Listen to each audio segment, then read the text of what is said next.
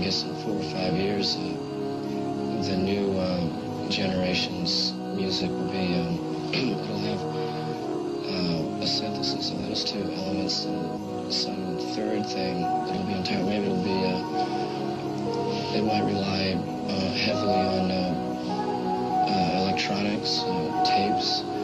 I can kind of envision maybe uh, one person with a, uh, machines, tapes, electronic setups, uh, uh, singing or speaking and, and using machines.